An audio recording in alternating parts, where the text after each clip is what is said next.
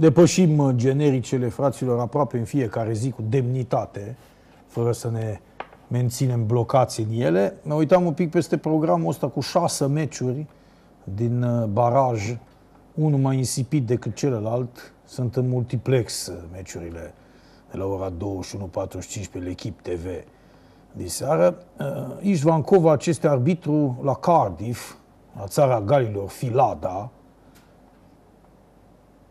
Ama nici Sabin German și nici uh, Sabin Orcan nu se pricep la fotbal, dar în orice caz, la lexic se descurcă și ar putea să ne spună aici, așa din poanie, că dacă va trage cu filada, Ișvan Kovac își va auzi probabil da? niște discuții pe tema că latura fino-ugrică a problemei a fost cea care a înclinat balanța. Asta nu cred că știa UEFA.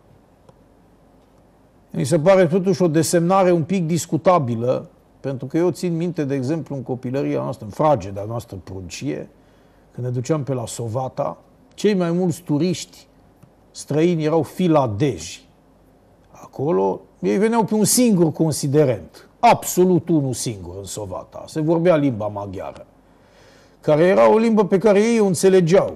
Când auzeau filadez vorbind, ți se părea că vorbește maghiară. Deci, atenție, ei aveau unde să se ducă. Asta era pe vremea comunismului. Sigur că România era o țară mai ieftină decât cele din vest. Sovata era un loc de vis, categoric. Lacul roșu ăla, lacul Ursu, de fapt. Lacul Ursu. Era un lac, cred că era în top 10 în Europa. Ca și proprietăți, caracteristici, nu știu ce, era colosal. Plus tot traiul de acolo în calitate de străin, veneai acolo, erai Dumnezeu, absolut Dumnezeu. Plus că lacul ăla era înconjurat de pădurile alea, arăta nemaipomenit. În orice caz, era o imagine idilică, ziceai că ești la Machu Picchu. Și ăia se, se îmbulzeau acolo în fiecare an, erau numai filadeji. E asta nu știa UEFA când l-a desemnat pe domnul Covaci, Istvan, le Pays de Galles, Finlande, ce soir à Cardiff. Că aici nu e vorba de meci de rugby, cum se spune la noi, că la rugby nu avea ce să facă. Acolo țara Galilor, chiar dacă a luat lingura de lemn în turneul celor șase națiuni anul ăsta, devasta filada. Îi bătea de nu se vedeau. Avem Georgia Luxemburg la Tbilisi, ceva mai devreme, practic când se termină emisiunea cu Micautadze, probabil, Bosnia, Ucraina la Zenica, toată lumea vede Ucraina favorită, dar s-ar putea ca drumul lor să se termine aici. Sigur, ucrainenii pleacă conform așa e, cotelor din piață, ușor favoriți. Bosnia e o echipă care în general ratează marile evenimente. În cazul ăsta o finală pentru calificarea la campionatul european. Avem la Atena Grecia, Kazahstan, ca și Georgia, Luxemburg. Din păcate, asta pare să fie un meci în sens unic. Israel, Islanda, la Budapesta, unde mai nou Israelul își desfășoară activitatea, pe Juja Ferenc stadion. În orice caz, așadar, pe teren neutru, dar Israelul având deja niște repere acolo, și ar mai fi Polonia, Estonia, o să râdeți chiar la Varșovia, deși nu era un loc nimerit din punctul meu de vedere, e plină Polonia de stadioane mari, a găzduit campionatul european. E interminabilul și inevitabilul arbitru sloven de doi bani, Vincic, favoritul UEFA, evident. Prostul ăsta arbitrează orice, oriunde. Ăsta e arbitru la Polonia, Estonia. Eu, în general, îi urmăresc pe ăștia, urmăresc delegările. Bă, de prostul ăsta nu scapă nimeni. Deci dacă există un singur meci, să faci un campionat mondial și să trag la sorți toate echipele din lume și este un singur meci. Să zicem, nimerește Mozambicul cu Myanmarul. E arbitrat de Vincic, 100%. Deci este singurul arbitru din lume care nu ratează niciodată nimic. Orice competiție, indiferent câte meciuri sunt, unul al lui. Bun, seriile alea europene iese prost sunt câte 16 meciuri și el nu poate să arbitreze decât unul, că toate sunt la aceeași oră. Dar este un om absolut inamovibil, Deci se vede că președintele UEFA este un escroc sloven. Da, hai să fim serioși, aici nu merge cu întâmplări, cu... Chiar râdeam aseară cu tragerile la sorți. Poate că nu sunteți la curent, un subiect de mare actualitate, dar s-au tras la sorți grupele Olimpiadei la fotbal, după ce cu o zi în urmă să trăseseră la basket. Franța, care va găzdui Olimpiada, cum toată lumea știe, a nimerit în cele mai ușoare grupe peste tot. Bă, asta aș vrea să întreb și eu odată organizatorii acestui sport mondial.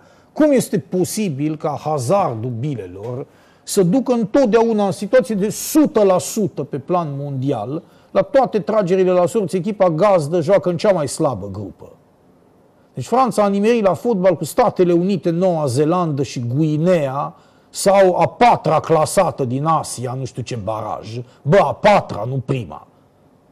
Deci incredibilă tragere. La fel și la fete, acolo am nimerit cu Canada, care sunt campioane olimpice, dar sunt campioane olimpice dintr-o întâmplare cumva și oricum se califică două din grupă.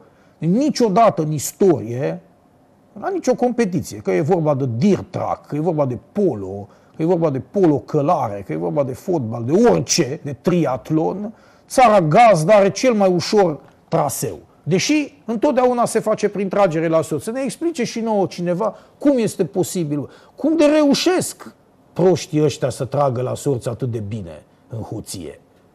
Nu se înșală niciodată, bă, ați văzut vreodată țara gazdă în grupa morții. Da? Germania să organizeze Cupa Mondială să fie în grupă cu Anglia, Olanda și Spania. Ați văzut vreodată așa ceva? Nu contează, prin nu știu ce șmecherie alea să ajungă exact în urnele astea. Că se poate întâmpla, acum criteriile sunt diferite. Nu mai are legătură cu valoarea și cu rezultatele. Aranjamentul bilelor în urne nu are nicio logică absolut. Nicio logică. Sunt puse după niște criterii care sunt uluitoare. Niciodată. Germania a jucat cu Omanu, insulele Solomon și cu cei trei purceluși. Deci ăsta ar fi clar țintarul lor. Cum este posibil așa ceva? Deci, mă, oriunde, mă. Ți-e și rușine, bă. Și presa nu ne spune niciodată nimic. Ne scrie doar că au evitat o tragere mai dificilă, că e într-o grupă abordabilă. Bă, dar de ce nu îndrăznește niciunul? Nu vreau să spun la, la rubrica de știre, dar într-un editorial, într-un text de opinie. Ați văzut vreodată undeva scris chestia asta? Păi, dar oare cum să fac tragerile astea la surs de permanent? Africa de Sud, Qatarul, Mexicul, de atâtea ori. Mă, toate gazdele astea de 2 lei, Arabia Saudită în curând, putem deja să facem uh, pronosticuri de acum. Cu cine va nimeri Arabia Saudită în momentul în care va găzdui campionatul mondial? Prima oară, a doua oară, a treia oară, da, și a o suta oară. Că numai ei vor mai găzdui la un moment dat. Deci cum este posibil, bă? Toate, bineînțeles, sunt niște jafuri. N-are, bă, cum să nimerească așa. La orice competiție, bă, o să tragă la polo mâine, o să tragă la handbal, o să vedeți că Franța nu joacă cu nimeni la niciuna. Bă, cu nimeni. Cum să nimerești, bă, la fotbal cu Statele Unite, echipe olimpice, totuși, cu Statele Unite, cu Noua Zeelandă și cu Liniuță. Una dintre Guinea și nu știu care echipă din Asia, să zicem Mongolia ce e aia, mă? Deci nici nu e normal să, să, să, să dai peste alea vreodată în istorie, dar rămite la Olimpiadă. A, e, asta spune strigător la cer, efectiv, peste tot. Și ăștia iau mare, marile jocuri olimpice. Se vorbește de jocurile olimpice asta de zici că ne ducem într-un templu. O hoție de asta monumentală. Cine mai crede în așa ceva? Cu atât vă întreb, în corectitudinea jocurilor olimpice. Ce glumă, bă! Uite bă că ne vedem aici. Din delegația Spaniei va face parte și senior doctor Fuentes. Păi de ce să nu facă parte? Asta numai dacă e mort. Seniorul doctor Fuentes, liniuța aia nu era România, v-am spus, era Guinea sau a patra clasată dintr-un turneu de calificare asiatic. Dacă țara Galilor și Polonia câștigă, se vor întâlni. Păi da, nu mai aveau ce să facă. E da, bineînțeles, a fi zis și Gigi. Da, se întâlnesc, sigur, se întâlnesc că astea au fost puse cât de cât cu mâna primele meciuri. Vă amintesc că ele nu sunt tur-retur. M-am așezat, da, e bună întrebare, domnul Ionuț, m-am așezat pe scaunul lui Grigore Cartianu, redacția ProSport, și acum l-am în cap, exact știu unde stătea Grigore, la reporter special era el atunci. Eu n-am fost coleg cu el foarte multă vreme, că eu la ProSportul ăla am stat mai puțin de 2 ani, dar în anii ăia, da. Mă mai așezam din când în când și pe scaunul lui Grigore, deși eu n-am lucrat niciodată la secția aia, teoretic n-aveam nicio treabă acolo, dar știți de ce mai, mai așezam? Mi-amintesc chiar când m-am așezat, când scriam cu Manolo Terzian despre turul Franței, mă mai duceam acolo la... Să nu vină Manolo, dita mai Manolo să se așeze la mine, că eu nici n-aveam scaun. Și atunci mă duceam eu la secția lor, mai scriam uh, articole despre tur cu el. Manolo Terzian era foarte bun la scris, avea, avea un condei foarte interesant, ieșeau texte geniale, în orice caz. Salutăm victoria oamenilor noștri din Fiji, insulele Solomon, Fiji 02. Bravo, bă! Așa e. Acum mai transmitem domnului Andrei, dacă e pe recepție, că tot deschisese telespectatorul vorba de Fiji. Fiji n-a fost niciodată călcată în istorie de un european până la mijlocul secolului 17 fabulos destin. Deși, atenție, populația melaneziană exista acolo dinaintea lui Hristos. Incredibil. Oamenii ei au trăit numai cu apă de nucă de cocos și cu apă de ploaie peste 17 secole. Fiji și-a cucerit independența de la Marea Britanie în 1970. A fost descoperită, că de asta mă adresam domnului Andrei, de un olandez, bineînțeles, da? de tovarășul Tasman, cel care a descoperit și Tasmania și uh, golful respectiv care îi poartă uh, numele, sunt niște fete de astea îmbrăcate de măritiși, show mare de tot, mare de tot la tovarășul Brancu. Deci asta vreau să vă spun, domnul Andrei, sunteți bine venit aici. Ăsta e, tată. Deci olandezul Tasman a ajuns prima dată în Fiji și eu spun pentru tot telespectatorul că e bine să mai traversăm și un pic de cultură. Dacă în emisiunea asta nu, atunci unde? Deci niciodată în istorie, până la a doua jumătate a secolului XVII, niciun european n-a călcat în Fiji.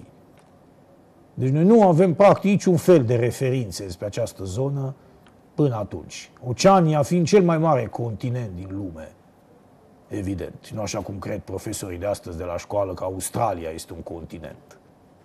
Pas du tout. Pas du tout. Continentul este Oceania. Bun, Japonia, Corea de Nord 1-0 din minutul 2 și așa a murit. Japonia este peste OM, ca diletantism. E, nu cred totuși că japonezii își fac treaba. N-au putut să le mai dea. Cine știe, nu cred că sunt așa diletanți ca noi.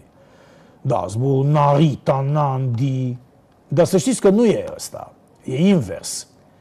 Avem zbor Nandi Narita. La dus nu.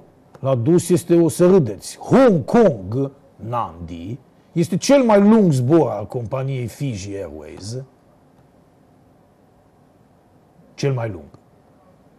Deci Fiji Airways nu are niciun zbor mai lung decât Nandi Hong Kong. Este absolut colosal. Iar la întoarcere este Nandi Narita, un pic mai scurt decât ăla de Hong Kong. A câștigat St. Kitts și Nevis. Am înțeles că meciul a fost televizat pe prima sport, Cat, Vlad Măcișcășan ne-a informat, colosal. A câștigat net St. Kitts și Nevis. Am ținut cu St. Kitts și Nevis ca un copil. Eu care practic am fost în St. Kitts și Nevis, că din Trinidad Tobago da, în aeroportul Piarco Internațional, erau zboruri spre St. Kitts și Nevis, bă băieți, bă. Deci când te uitai pe panoul lor, așa ți apărea. Tobago, Grenada, Tobago, Dominica, Tobago, Tobago, Miami, New York, Tobago, Tobago, Tobago, St. Kitts și Nevis, Aruba, St. Vincent și Grenadine, Tobago, Toronto, Chicago, Tobago, Tobago, Tobago, Curaçao, Bonaire, așa ți apăreau, St. Kitts și Nevis, iarăși, era ceva colosal. Deci nu vedeai un Madrid, nu vedeai un Milano, nu vedeai un Istanbul, nu vedeai o Roma, ci erau numai de-astea, bă. Splendid tablou, splendid. Te uitai la el ca la poarta nouă. O imagine rară. Că se tot modificau alea acolo, cum se întâmplă, și ți apărea sus. Bonaire. Chiar se învârtea ăla Curaçao. Kingston, adică Jamaica. Era genială și numai de-astea erau. Bineînțeles, toate cursele erau numai în Caraibe, în nordul Americii de Sud, sigur am omis, Caracas, Paramaribo, Georgetown, da. N-am văzut, de exemplu, de Brazilia niciun zbor, cât m-am uitat eu. Numai de-astea erau. Panama, îți apărea Bogota, sigur erau și din astea. Și în rest, Caraibe, tată, și Statele Unite și Canada. Fabulos, bă. Deci ți apărea St. Kitts și Nevis. Erau zboruri în fiecare zi. Deci de asta consider că, practic, Asta cu cine e născut în Târgu Mureș, în afară de dumneavoastră, păi în primul rând Buțiu Călin, ne? era tot Târgu Mureșan. Buțiu Doru, de exemplu. Giru, da, am văzut asta, s-a alătură lui Loris, da, e un... e pe surse, așa, că s-ar duce la Los Angeles Football, cu o echipă slabă din Statele Unite oricum. Sunt două grade la Ekaterinburg, dar se simte minus trei. Păi e genial. Cam așa a fost și când am mers eu la Tallinn. Eu am crezut că o să fie minus 500 de grade, dar erau 0 grade de revelion și probabil că aveți dreptate, resimțite erau cam minus 3. Indonezia, Vietnam e 1-0, minut 84. Sunt slabe ambele. Am văzut asta, domnul Ștefan. Sigur. Eswatini a bătut Somalia cu 3-0. Nu știm însă exact unde s-a jucat. Pentru că în Somalia nu poți să joci fotbal. 21 martie 1685 se năștea Johann Sebastian Bach. Bach. Așa este, Bach. S-a născut, care e mormântat la Viena. Vă salut din Aix-en-Provence la emisiunea de seară, o să vă salut din Girona. Oh, trebuie să fac un anunț important. Sunt convocat diseară în echipa lui Nea Costi. Enormă distribuție. În prima oră, în afară de mine și de Nea Costi, nu mai e decât moderatorul Rudy. Deci o să fim în trei toată prima parte.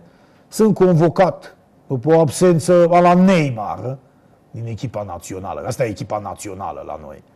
Convocările de joi. Nu ești convocat la națională, joci doar la club. Bun, luăm pub, primul pub și ne întoarcem.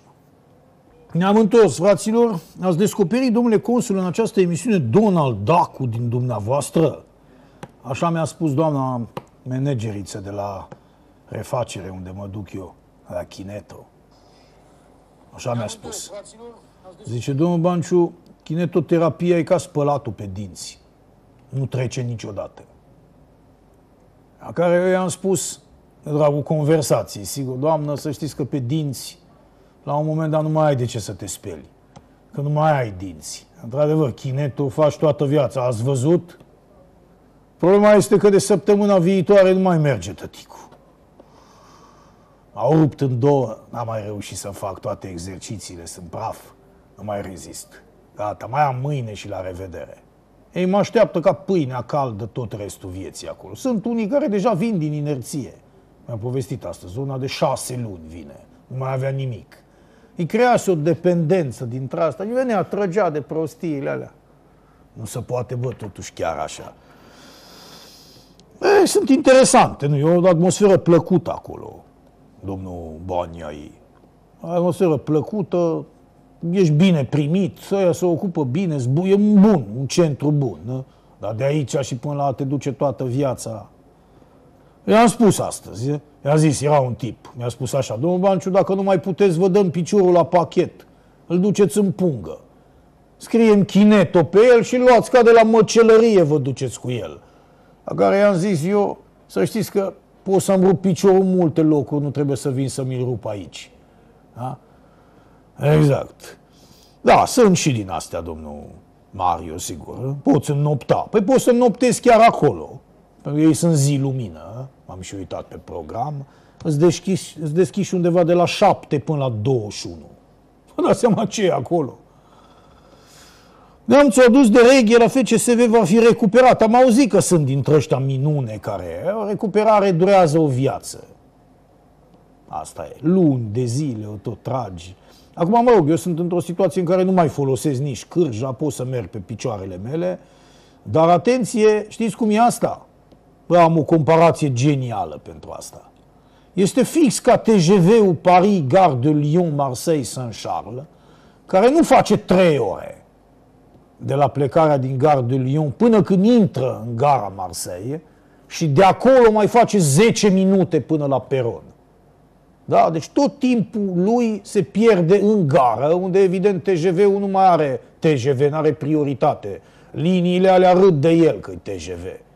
Și el trebuie să se ducă, să șerpuiască, e o gară imensă, singur în Marseille, intri greu, se dă până își găsește în 400 de 50 de linii, până când se trage la ăla, nu, nu mai poate să meargă, nu ai că e TGV sau că e ultimul marfar, tot aia e. Da? Și acolo pierde 10 minute, când oamenii deja sunt ridicați, toți cred că s-a ajuns. Stau în ușă ca proștii, dar nu mai ajungi. Alea 10 minute ți se par o veșnicie, el scârțâie pe acolo până ajunge să se oprească la peron. Dar nu face nici măcar 3 ore pe ceas din Paris până în Marseille, aproape 900 de kilometri, că merge ca tunul. Dar în momentul când intră în gara nu merge. Așa e și cu recuperarea. Deci tu mergi cât de cât cum merg eu acum. M-a văzut Nicola mai devreme și mi-a zis, vai, dar ce bine umblați, domnul Banciu. Păi zic, da, dar de aici, de la umbla bine și până la umbla fără jenă, mai durează 3-4 luni. Deci asta o să spun, aici ai drumul lung. Când începi să mergi, eu pătând așa ca ardelenii lui Goma, mergi deja pe toată viața ta. Că finalmente, ca să-ți mai găsești exact linia aia, să nu mai șchioapeți absolut deloc, aia nu se mai poate. Aici este nuanța. Da? Recuperarea integrală, asta e problema. Vedeți oamenii pe stradă, așa cam toți să înclină un pic. Nu mai reușit să recupereze la 100% ăla. Eu în momentul de față sunt recuperat cam la 45%. Dar asta îmi dă deja posibilitatea, cu dorog așa, să merg. E bine, de aici și până la 100% suntem ca TGV-ul ăla. Odată ce a intrat acolo în gară, deja după ultimele macazuri și până ajunge la peron, îmbătrânește ticule în alea 10 minute. Pe TGV 10 minute e o veșnicie. Păi în 10 minute ajunge din Marseille în Aix-en-Provence, de exemplu, când pleacă. Merge trenul ca avionul, fix aceeași senzație este. Deci, absolut. Când intri în tunelul ăla, la plecarea din Marseille este un tunel de vreo 15 km, săpa prin toate stâncile alea, colosal. E bine, trenul, când intră în tunelul ăla, ai urechile ți se înfundă, ți se desfundă de nu știu câte ori până ieși din el. Este ceva colosal. Și acolo nu ești ca în avion, tată, simți mersul ăla în tunel. Când ieși din tunel, nu-l mai simți. Forța aia de atracție cumva teribilă a tunelului te face praf, bă, tunelul ăla. Praf, praf. El merge cu 300 la oră în tunel. Când ai ieșit din el, ești în paradis, nu se mai simte nimic. Da? San Marino mătrășită de Saint Kitts. Da, am primit informația, 1-3 a fost. Mergeți la golf în Fiji. Am înțeles că stau bine și la golf. Sunt totuși principalul producător mondial de copra, adică de miez de nucă de cocos, Fiji. Ăsta e capitolul unde sunt locul întâi pe glob. Bă, aveți impresia că România, dacă avea o țară de 10.000 de kilometri pătrați, ca atâta insula Viti Levu, insula Viti Levu, adică insula principală din Fiji, unde sunt concentrate practic marile orașe și peste jumătate din populație, că în total sunt 300 de insule în Fiji. Una dintre ele concentrează mai bine de jumătate din populație, are 10.000 de kilometri pătrați, adică e de 5 ori cât Mauritius. Aveți impresia că România, dacă avea o țară de 10.000 de kilometri pătrați, era, să zicem, locul întâi în lume la cartofi, sau la sfeclă de zahăr, sau la grâu, la orice pe lumea asta, bă? E bine, Fiji este locul întâi pe glob cu 10.000 de kilometri pătrați la miezul de nucă de cocos. Cum e posibil totuși, bă? Asta spun. Imaginați-vă o țară ca a noastră, locul întâi mondial pentru veșnicie. Dacă iei clasamentul la Copa, În ultimii 50 de ani numai Fiji a fost prima. Am reușit noi, de exemplu, asemenea performanță, noi cu comasările, da? cu inteligența, cu produsele românești. Da? Nu m-am întâlnit cu Horică, că v-am spus, uite, doamne, mulțumim domnului Marius, așa e, numai nuși de cocos pe jumătate ne trimite, alea sunt. Da, deci nu la nucă de cocos, nu la apă de cocos, nu la ulei de cocos, că din nuca de cocos că să fac 1134 de chestii. Este cel mai teribil fruct din toate timpurile și nu numai fruct. Cel mai important, practic, aliment de pe planetă este nuca de cocos. Din ea se face absolut orice.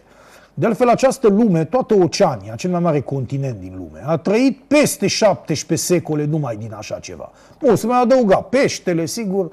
Vă reamintesc că ei nici culturi dintre asta n-aveau. Atenție, nu vă luați după cretinii ăștia cu banane și cu ananas. Care banane, mă, tâmpitule? Sunt banane acum în Fiji, dar bananele au fost aduse. Ananasul a fost adus, mango, avocado, ei n-aveau niciun fruct. Singurul fruct care exista acolo era nuca de cocos. În rest, toate sunt aduse. Roșiile, castraveții, orice au ei. Fost aduse de englezi, de exemplu, care au colonizat insula.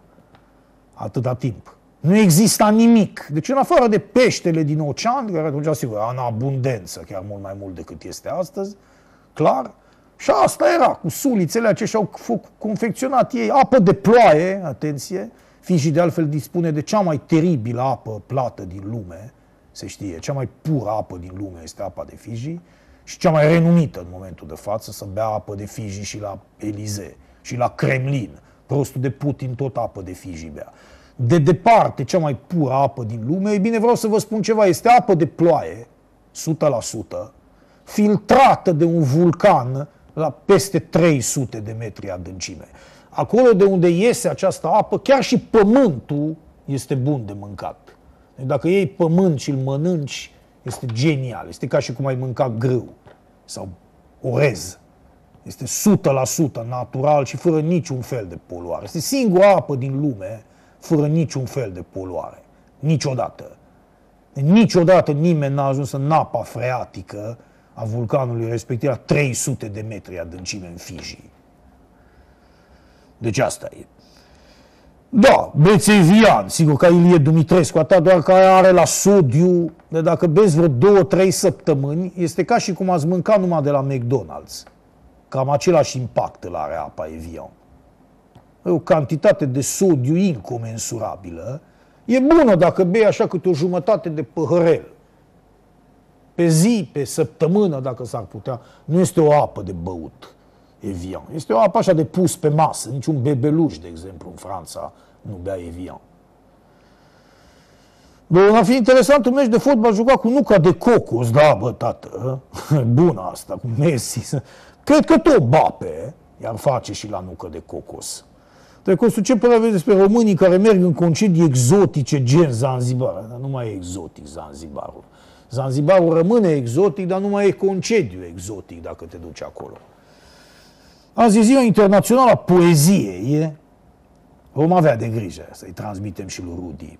Apă din Harghita e bună, sigur. România stă bine de tot la ape minerale. Cred că ar putea să fie chiar pe podium în Europa. Dar de aici și până la comparat totuși apa de Harghita cu apa de Fiji, sunt în mod. E ca și cum ai compara marele zid chinezesc cu podul Tudose. Ăla de peste de la Brăila, între Brăila și Tulcea. Cam asta e diferența. Recursul, da, să sperăm că s-o fi terminat, o fi căzut de la etaj domnul Pălărie, domnul Plăcintă, încă 45 de nopți, auzi, până la Grand Depart spre Guam. Vezi Dumnezeu cu Guamul ăsta. Dar, noastră, domnul Andrei, ce băgați acolo? Un Manila Guam, la parcă dacă mi-a zis că e vreo 5 ore jumate. E, totuși. La un moment dat, pe traseul ăsta, domnul Andrei, Pacificul are peste 8.000 de metri adâncime. Atenție! Pe la 8600, 8700 prindeți. Nu e puțin, totuși. Adică, practic, sub ocean este aproape la fel de mult cât este de la ocean până la avionul dumneavoastră. E frumos totuși. E, fetele noastre când se duc în Tasos nu se gândesc la lucruri de genul ăsta. Da, v-am transmis așa, poate vă prinde bine la un moment dat, deci așa cam pe la mijlocul zborului, un pic în partea a doua totuși. Pacificul are peste 8600, 8700 de metri adâncime acolo. Ai Amsterdam, Hong Kong, Manila, Guam. Ai Hong Kong o să ajungă și ștăticul. Asta e enorm totuși, da. E practic de dimensiunea, aproape de dimensiunea zborului meu, că totuși între Guam și Fiji e o veșnicie. Magellan a făcut, sau ar fi făcut săracul între Fiji și Guam, el n-a apucat-o chiar pe ruta asta, cam patru luni se face cu vaporul. Bune cursul, pe câte scaune stă Horică în studio? Ai o întrebare asta. Ieri m-am întâlnit cu dezbrăcatul și cu echipa lui de la Cronică, dar uite, am uitat să-l întreb de Horică dacă le-a devenit deja personaj. Dar o să-i întreb data viitoare, că ăștia vin pe la Brancu, tot timpul invitați. Pe mine nu mă cheamă Brancu niciodată, pe ăștia îi cheamă tot timpul. Cu o scală la Arad, Amsterdam, Hong Kong, Manila, Guam, da, eu o să merg București, Istanbul, Hong Kong, Nandi. Bună seara, unde călătoriți? La Nandi, doamnă. Pentru zborurile interne, vă rog în partea, în partea stângă, vă rog. Reconsul un derby ce merită televizat Guinea Vanuatu, dar nu cu ăștia joacă. Guinea, dacă vă referiți la meciul ăla pentru Olimpiadă, nu-i cu Vanuatu. Reconsul 12 zile cu vaporul, uite, între Fiji și Guam. Cam așa, patru luni pe vremea lui Magellan, 12 zile să se facă acum. E genial să ai un vapor 12 zile. Ești Dumnezeu, bă. Deci gândește-te cam cum e Oceanul Pacific cam după 3 zile de mers. Mai, știi că mai ai 9 zile de mers. Uluitor, bă. Tu ești în, pe o coajă de nucă în Pacific. Pacificul e cât toate celelalte continente la un loc, bă. Deci imaginați-vă ce e acolo de apă. 12 zile mergi, nu se vede nimic absolut din Guam în Fiji, dacă știi să te strecori, absolut peste nicio țară nu treci. Deci ar fi doar niște rămășițe din Nauru. Asta pentru că Nauru se întinde pe patru emisfere, cum se laudă ei, și este o țară cumva care are așa cumva e pe hartă. Ăsta e singurul motiv pentru care ai mai da peste niște insulițe. În rest, între, între Guam și Fiji nu este nimic decât Pacific. Deci 12 zile nu vezi nimic, bă. Poate așa în larg câte o insuliță să mai, mai arată câte una și zicea, this is, this is crab, bă, this is crab, bă, și când acolo nu-i niciun crab, că e naurul. Deci, consul, așteptăm o transmisiune live din Kiribati, fotbalul inclusiv, nu avem net. Dacă ne ducem acolo, să sperăm că au băieții de la Tulcea net. Kiribati, e văzut cât e MB-ul. Publicitate. Am ascultat-o pe François Hardy în pauză Sera tu la, o melodie pentru doamna Zeze din anii 70, colosală. Ironica a spus că ați vrut să mergeți cu el la campionatul mondial 2010 din Africa de Sud. Absolut. Pe dar nu v-am povestit de 100 de ori. Asta e faza cu doamna care a venit peste noi, doamna de la Meteo, și ne-a spus, nu știu cum să vă spun, dar în Africa, e cald. Că noi zice, eu ziceam lui Mironică, bă, da, ne ducem acolo, dar vreau să mergem de la semifinale și la finală. Pro, nu știu ce vrea să organizeze. Și exact atunci a venit Magda Pălimariu peste noi în vestiar, că noi vorbeam, ziceam lui Mironică, bă, dar tu ai chef să te duci acolo la minus 15 grade. Stăm ca proști în tribună acolo, murim de frig. Și a venit fata de la Meteo și ne-a zis, nu știu cum să vă spun, dar e totuși Africa, da? Că m-am uitat la Mironică, Mironică mult mai politicos decât mine s-a uitat doar la mine. Și am vorbit după restul vieții de doamna Magda când am ieșit de acolo. Și asta era prezentatoarea meteo la principalul post de televiziune al României. Ea știa că în Africa e cald, că e Africa. Johannesburg erau temperaturi negative, vă reamintesc, la Cupa Mondială. Colosal, da, păi ăsta e momentul. Sigur că am vrut să mergem, dar a fost doar la o discuție, m-am mai aprofundat. Era totuși destul de complicat, ne trebuia viză, aia iarăși lua timp, nu prea puteam să ne desfășurăm, eram destul de comozi amândoi. Era sigur interesant să prinzi un A380 Londra sau Paris Charles de Gaulle Johannesburg. Era un zbor genial, oricum. De consul a refuzat politicos invitația în Tenerife. Bravo, domnul Fechete. Pe dumneavoastră mergeți la Cali, la Medellin, la Barranquilla, da, la Bogota.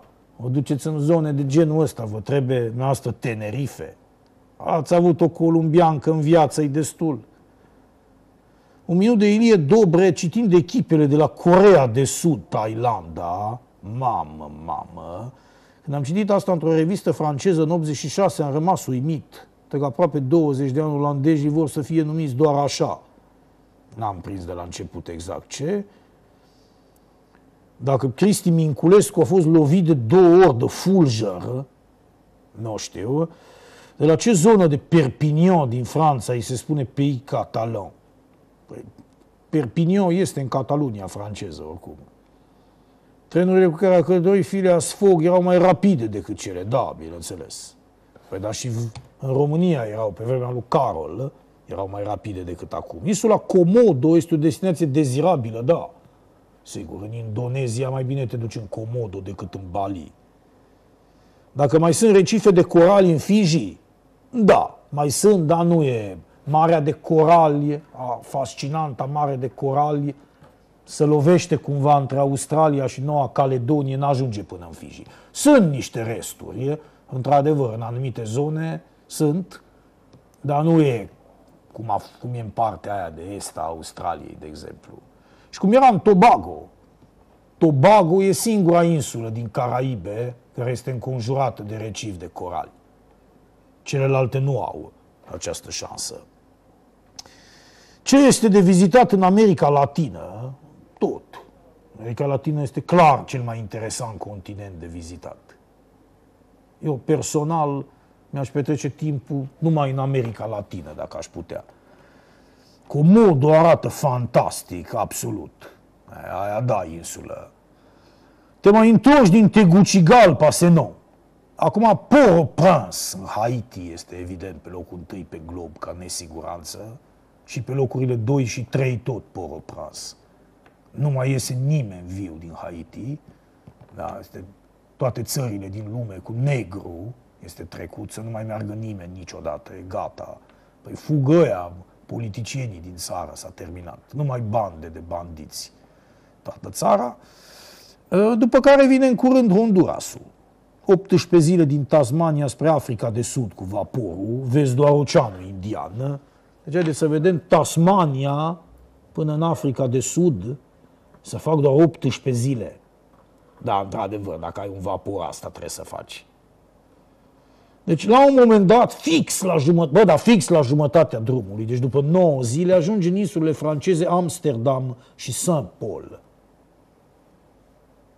care țin cumva de Kerguelenul francez, care e un pic mai la sud, mai spre Antarctica.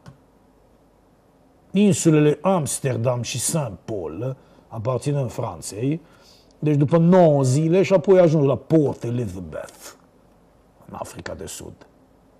Așa este, da. 18 zile doar să faci. Numai Oceanul Indian absolut. Deci în afară de astea două insule nu este nimic.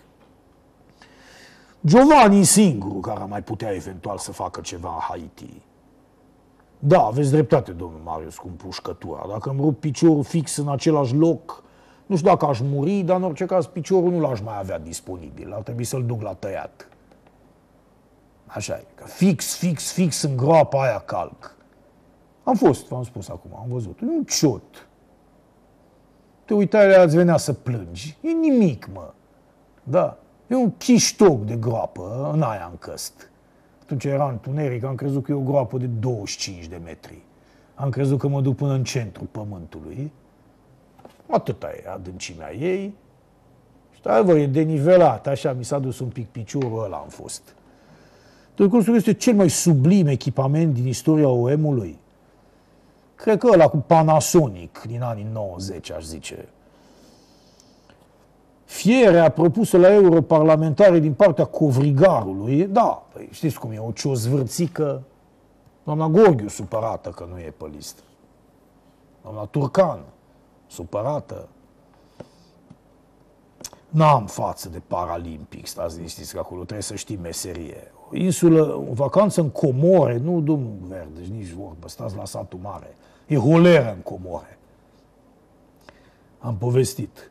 Casa și gogonelele pe Gibraltar pot să facă un rezultat cu Lituania. Asta, atenție, meci tur. Seara asta joacă și returul la ea, la Kaunas, probabil. Survolăm groapa Marianelor spre Guam. Donat 321 Neo, Filipine Airlines. Bun, aia nu mai vorbesc, că survolați aia cât are 11.000 de metri. Dar eu aici ce văzusem, deci pe Guam, uh, pe Filipine, Guam, da, aici s-ar putea, nu e menționat, dar s-ar putea ca în partea asta aici, jos, un pic mai jos, într-adevăr, unde e albastru la mai tare, acolo să fie. Că e adevărat, în zona asta e Apa Marianelor, nu e însă sigur, pentru că aici cum arată, de aia vă spuneam, Manila, Guam, dacă o iei fix în linie dreaptă, n-ar trebui să treceți chiar pe acolo. Un pic, cred că e mai la sud, dar asta vă spuneam, la 8.000 tot ajungeți. Dacă treceți chiar peste groapa Marianelor, acolo sunt pești ăia urâți. Uh, bonjour, mes amis, bonjour à tous et surtout à toutes. Domnul Gabi este alături de noi. Domnule Fechete, am cumpărat echipamentul de antrenament din 2004-2005 al lui Drogba. Noroc că era doar echipamentul de antrenament al lui Drogba. Domnule cursul recuperare la băile Felix sau Herculane. La Herculane m-aș duce.